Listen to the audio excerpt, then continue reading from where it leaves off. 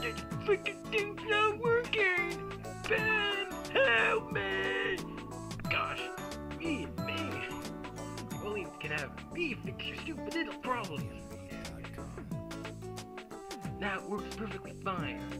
Now you gotta go charge it back up because right now it's going dead. Since you had it in the wrong way, it wasn't charging properly. Say bye. Bye. I'm an idiot. That's an idiot. Not you. Not not me. I'm an idiot. Ryan, tell the people that you're an idiot for not putting the fire. There you go.